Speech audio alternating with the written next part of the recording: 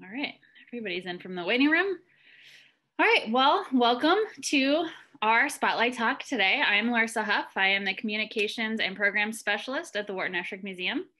Um, and I want to thank you for joining us for our fun 20 minute lunchtime chat. Um, and Sophie's going to teach us so much new stuff. It's going to be very exciting. Uh, if you could keep yourself on mute uh, for the length of the talk, that would be awesome. And then at the end, we'll have some time for questions. So you can unmute or put it in the chat and I can read it out loud for you. Um, and because we've only got 20 minutes, we might as well dive right in so so we can max out our time. So I'll hand it over to you, Sophie. Thank you, Larissa. Uh, so hello, everyone. I'm Sophie Glenn. I'm the operations manager here. And today I'm going to be talking about uh, the inspiration behind building the studio. Um, and it's kind of an interesting topic because we usually start off a lot of our experiencing Esherick tours about how the studio was built. And uh, built, it was built over a 40 year period, if you're not already familiar. Um, and we kind of go into little bits and pieces about the, the inspirations behind parts of the studio, but we never really get to uh, have some images associated with that. So I kind of took this as an opportunity to do that. Um, so I will go ahead and share my screen here. Bear with me for one second. All right, so building the studio. So as I said, it was built over a 40 year period from 1926 to 1966. And it, it's, uh, we usually talk about this at the beginning of our experience, experiencing Esherick tours here. Um, but again, we don't necessarily get to have images associated with those different inspirations or um, unless you go into our visitor center bathroom and see the cabinet of Dr. Caligari little poster that's in there, you really don't get a lot of uh, visual context for what we're talking about. Um, so I kind of took this opportunity to do that here and talk about those inspirations a little bit more in depth. Uh, so without further ado, I'll just go ahead and start from the stone portion of the house, which was the first part built in 1926. And it was built because at that time, Wharton was, or sorry, Esherick was getting into more furniture making and uh, working with wood, uh, which is a much larger medium than the painting he was doing before. Uh, so he really needed a studio, a separate studio space where he could sort of expand his practice in that way. So that's why this uh, stone portion of the house was built here. Um, it's very much in the Pennsylvania barn vernacular that would have been uh, local at the time. So it's a stone building um, and the windows here in the front uh, probably normally would have had barn doors there, but there were windows placed there instead. Um, and there's also a little bit of an arts and crafts inspiration in there as well, we'll talk about a little bit later. Uh, however, the two main influences behind uh, the, the uh, stone portion of the house here were the philosophies of both Frank Lloyd Wright and uh, Rudolf Steiner. Uh, so starting with Frank Lloyd Wright, uh, we all know Falling Water, or maybe are familiar with Falling Water, which is probably one of arguably one of his most uh, well-known structures. Uh, it's located outside of Pittsburgh. And um, he was all about organic architecture, which is a term that he coined pretty early on, I think as early as 1908. Um, and essentially it is sort of an offshoot of the Louis Sullivan term form follows function, ex except form and function are one according to Frank Lloyd Wright. Uh, so the idea was that architecture should sort of work with and um, sort of uh, match stylistically with the surrounding environment and look like it's kind of the architecture should look like it's uh, somewhat emanating from the surrounding environment. Uh, so you can see here it's named Falling Water because the waterfall is actually coming through the property here. Uh, so it's supposed to work with some kind of level of cohesion to it. Um, himself was not really a big fan of the architecture itself. He was more inspired by the philosophies that Frank Lloyd Wright had put together. Um, and I believe he was actually uh, quoted as saying that Frank Lloyd Wright should take a page from his own book and his own writings in regards to the architecture. Uh, so stylistically, he kind of deviated from that quite a bit. Um, and then getting into Rudolf Steiner a little bit, who uh, was not only an architect, but a writer and sort of this esoterist, um, sort of just kind of this uh, very interesting figure, uh, and actually was the founder of Waldorf education. So that gives you a little bit of context there. Um, but his main uh, architectural achievement is the, I'm going to pronounce this wrong, but Gertene, Gert, Goetheanum, um, which was actually two structures. Uh, the first one was built in 1919. It was made uh, mostly out of wood, but eventually burned down uh, shortly after it was built. So then a secondary one was built in, uh, I believe, or completed in 1928 and it was made completely out of cast concrete. Um, so the image I have here on the right is actually some postcards that Esherick had received um, that depicts the Goetheanum. Um, and he was very heavily inspired by his architectural philosophies. Um, and with that, it was all about essentially just having this architecture be somewhat like a sculpture, or you're like you're walking through a sculpture. Uh, so much more dealing with organic lines. Um, I'll get some more images here. So this is actually the front of the structure here. Uh, you can see it's all cast concrete. Uh, and we're dealing with a lot more organic lines and a little bit of symmetry here, but a little bit deviating from that when we get into the, uh, just an image of the interior space here. Uh, and working and sort of his general philosophy about life and humanity itself was that we're our bodies are just essentially vessels for the spirit and we sort of uh, our spirits progress through the interactions we have with everyday life and through our education and through artistic practices um, so it's a little bit over my head um, a little bit so i try to generalize it as best as i can um, but essentially in this structure, uh, it gets its name from Goethe, who was a German writer, philosopher, a bit of a biologist, and had extensive knowledge of uh, color theory as well. Um, so a lot of this is inspired by, or what is what inspired um, Steiner to create this structure. Uh, talking a little bit about the interior of the space, uh, the pink walls here and the painting style are known as lazure painting, uh, which was a method of essentially layering paint colors together. So you almost, it almost seems like the colors are transcending one another and you're walking through like a cloud structure almost. Um, so like the spirit can sort of pass through these walls on a spiritual level. Um, so some of that may have been inspiration to Esherick himself, especially when we're talking about the silo and sort of the paint um, coloring there. Um, you can also see that the interior staircase here and the railings are a lot more organic than um, Frank Lloyd Wright would have done. Frank Lloyd was much more uh, geometric, um, whereas these have a lot more uh, organic elements to them and much more sculptural elements to them. That was probably an initial draw for Esherick. Um, and with that too, I also want to talk a little bit about the arts and crafts movement, um, particularly in, in, regards to Rose Valley. Uh, so the arts and crafts movement was uh, roughly between 1880 and 1920s thereabouts, at the turn of the century. And it was really a, a movement that was pretty antithetical to the industrial revolution. Uh, so at that time, machines were kind of taking over and taking over a lot of the manual labor um, and sort of the craftsman qualities of a lot of things being made during that time. And a lot of people did not like that, sort of took away from uh, a lot of these elements that were a part of handmade furniture and other, and other uh, crafts. Um, so the arts and crafts movement was really just an answer to that. And Rose Valley in particular was actually a bit of a social experiment um, brought together by um, William Lightfoot Price. And uh, with the arts, so the community was uh, became a single tax community that was based on the philosophies of the arts and crafts movement. So with that, they had Rose Valley shops, which advertisement you can see here. And I like to bring this up too because a lot of not only the architecture inside the build uh, the uh, stone portion of the building, but a lot of the furniture was sort of inspired by the arts and crafts movement as well. Uh, so I have an example of that here. Um, so this is sort of a trestle style table and the trestle is referring to uh, this piece underneath. Um, we have some really prominent joinery here, which is really showing off that handmade quality. Um, we have some, it's predominantly red oak, which would have been a very local, uh, locally sourced wood and the arts and crafts movement was very heavily based on locally sourcing a lot of the materials. Uh, ornamentation like this carving here was sort of abandoned in the latter half of that movement, but was very prominent in um, the early stages of the arts and crafts movement. Um, and it's usually visually heavy pieces of furniture as well. Um, so you can most see that in the uh, 1927 cabinet desk that's in the museum currently. Um, and just to give you an idea of the interior of the space, if you had visited in person, uh, so a prominent feature in a lot of, uh, we call them craftsman homes now, are uh, exposed beams.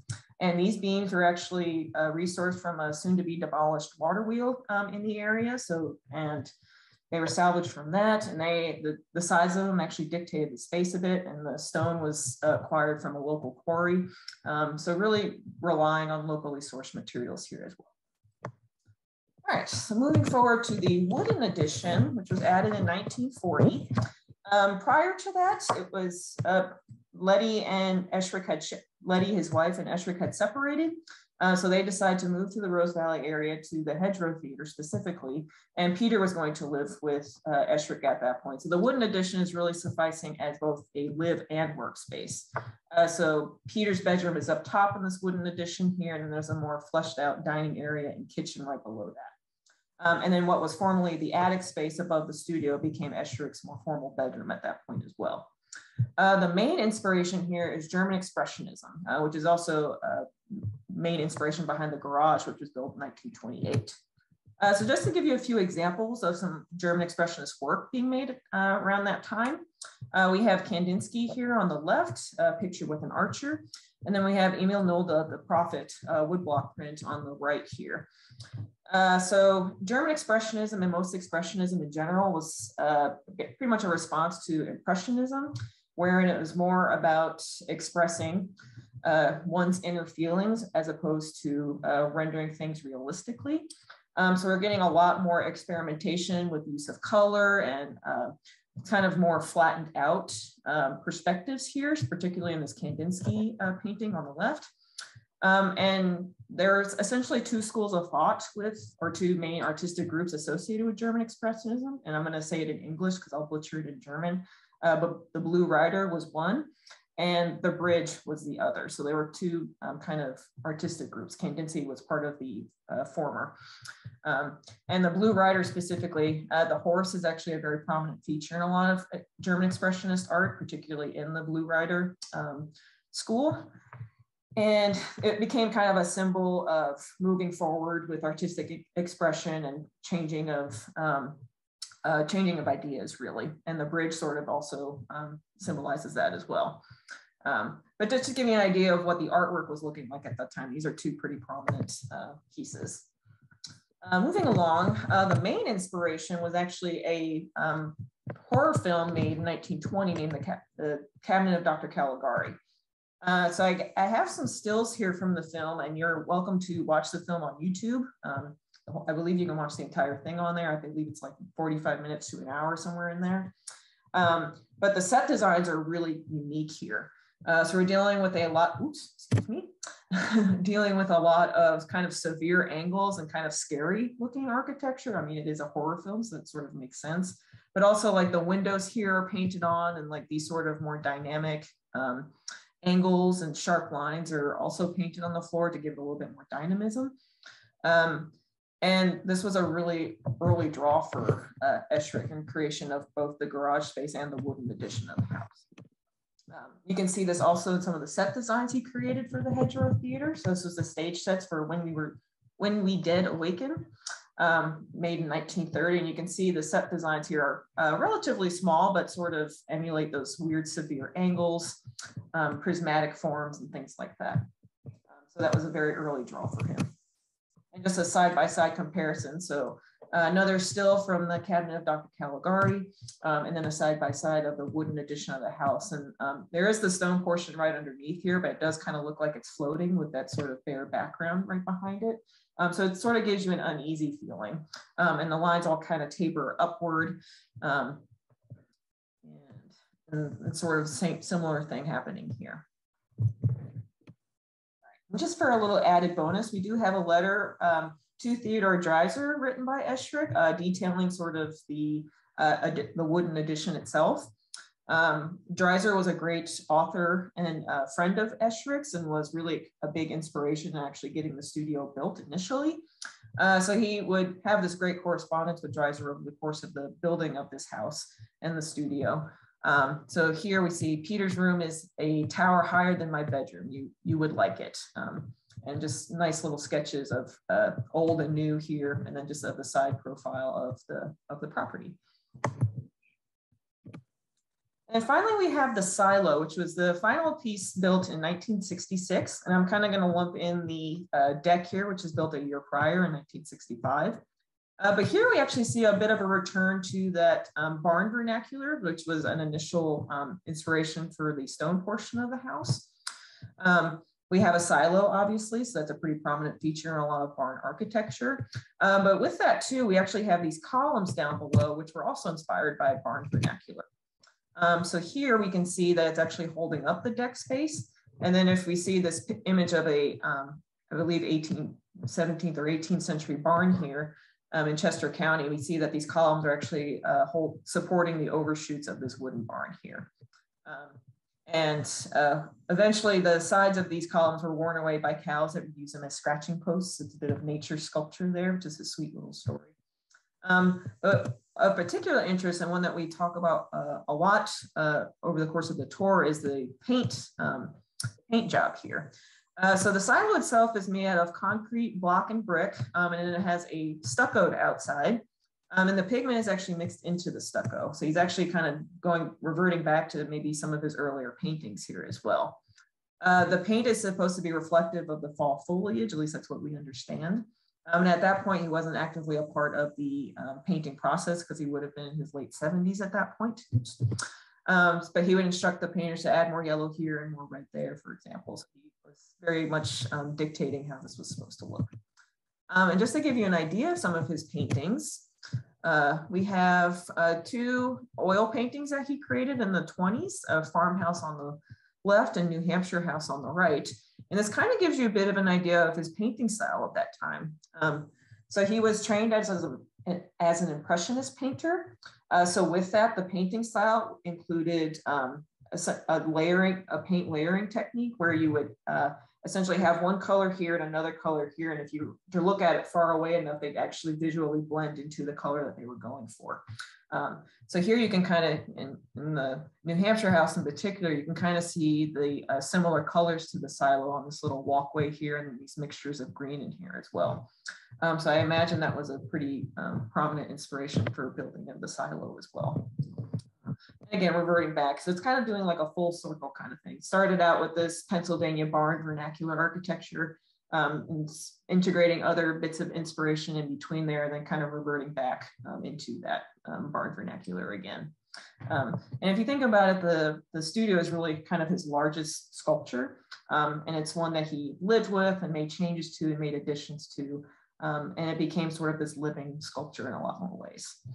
Um, so with that, that's all I got. Um, so I think I kind of breezed right through that, but wanted to end on this uh, nice little angle uh, of the studio. You can see all parts all together. Um, yeah. Stop my sharing now. We can open it up to questions if we're if we're ready.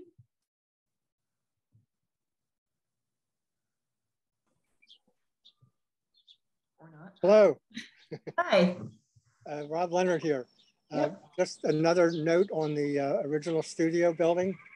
Uh, Bob Bascom mentioned to me that um, one of the nods to uh, Frank Lloyd Wright was that Esherick didn't build the barn on top of the hill. He built it into the hill, lower mm -hmm. down on the hill. Yeah. Yeah, and the I didn't mention this earlier either, but the stone portion actually tapers upwards. So it's supposed to mimic the roots of a tree. So also kind of mm -hmm. well, yeah. Thank you for bringing that up.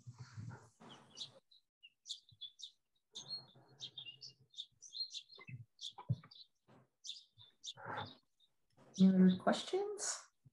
Quiet group today. Just quiet. you were very thorough. Yeah. Oh, thank you. I had I prepared like I wanted to make sure I knew what I was talking about. I tried to be as thorough as I could in 20 minutes. Yeah, thank you. Thank you. All right. If there's no more questions, then we will wrap it down. Um, okay. I will send a follow up email with some links relevant to some of the things that Sophie talked about. Um, and as we continue to celebrate our 50th year as a museum, uh, we are shifting from our home as site uh, into home as self section of the year. So we're going to be opening our juried exhibition on June 2nd with a big fun virtual opening reception on June 3rd. Um, so if you look on our website, you can register and come. It's at 6 p.m. on a Friday. So bring a glass of wine. We'll hear about the artists. We'll see some work. Uh, it'll be very exciting to usher in the next chapter of the 50th anniversary year. Um, and other than that, I think that's all we've got for you today. So thank you for giving us your lunch hour um, and joining us. And we will see you at the next event. Yeah, thank, thank you. you. Bravo. Thank you.